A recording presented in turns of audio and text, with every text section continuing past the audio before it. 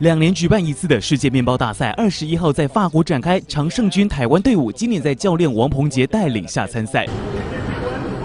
选手游冬运揉完面团之后仔细拉出线条再绑出辫子造型。面包烤好之后进行组装，雏形逐渐出来，完成了制作原住民族棒球选手的艺术面包，高达一百四十公分，重五十公斤，细节相当细腻，也让台湾队伍顺利拿下大赛亚军。台湾，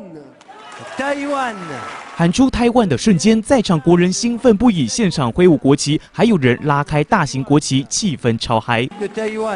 其实这次比赛中有个小插曲传出，中国官方及媒体向主办单位施压，要求台湾选手进场时不能够携带国旗。在教练王鹏杰沟通之后，主办单位决定所有队伍一律不带国旗，但没有禁止观众携带，顺利让青天白日旗海在会场顺利挥舞。相较上两届比赛拿下冠军，这次虽然没有达成三连霸的目标，但亚军荣耀已经让台湾面包实力在国际上大放异彩。